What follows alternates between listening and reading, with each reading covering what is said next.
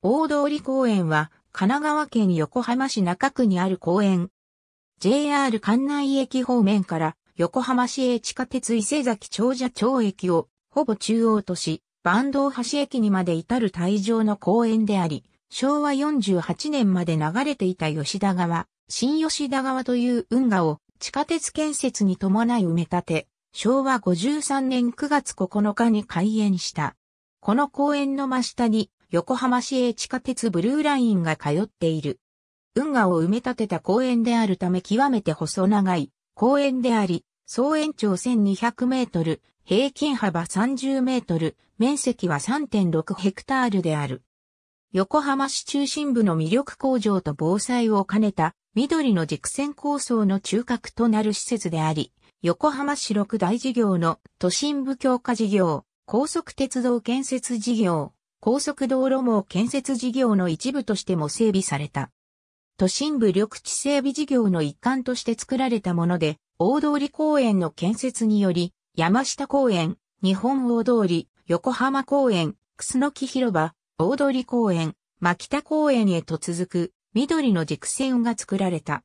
市民の憩いの場のみならず、防災用地としても極めて重要である。公園は石の広場、水の広場、サンクガーデン、緑の森の4つの部分から構成されている。石の広場には野外ステージがあり、水の広場は水の一生をテーマにしている。サンクガーデンは伊勢崎長者町駅周辺である。緑の森は伊勢崎長者町駅周辺のかつて千秋橋という運河に架かる橋のあったところから坂東橋駅までに至る部分である。坂東橋駅は京急本線小金町駅からほど近く、近くには大岡川が流れ、川の町横浜の雰囲気を伝えている。大通公園生誕に1992年、1945年5月29日の横浜大空襲の平和記念碑が横浜戦災遺族会により建立された。毎年5月29日、大空襲の犠牲者を悼む平和記念碑の内部が公開される。三影石に約千人の犠牲者の氏名が刻まれている。公園内には彫刻が設置されている。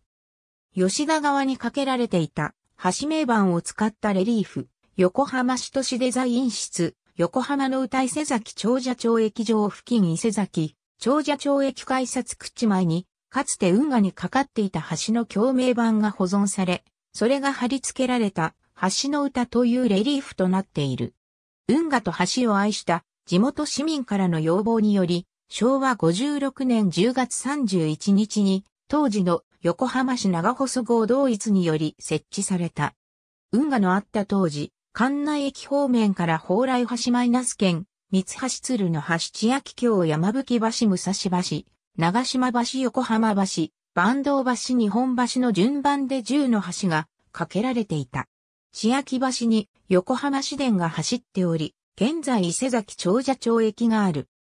吉田川にかかっていたのが、蓬莱橋、千秋橋まであり、明治5、6年に架けられ、新吉田川にかかっていた橋のうち、山吹橋、武蔵橋、長島橋、横浜橋、日本橋は、運河完成直後の明治30年頃に架けられたが、坂東橋のみ、関東大震災後の大正15年に架けられた。